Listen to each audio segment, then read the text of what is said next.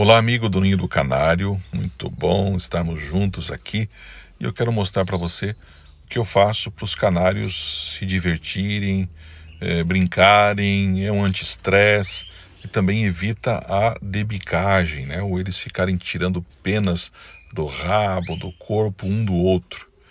E eu uso essa bucha aí, essa bucha de tomar banho, né?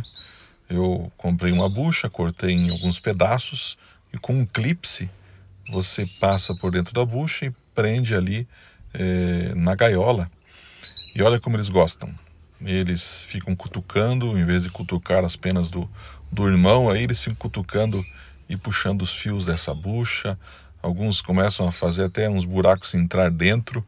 Eu fico se balançando, fico se divertindo aí é, com essa bucha. Então é uma forma de você evitar essa debicagem e também é, oferecer para eles momentos de lazer, de brincadeira, né? É, tornar o mundo deles mais divertido, mais interessante. É uma forma barata e simples de fazer com que os canários se divirtam aí na, na voadeira.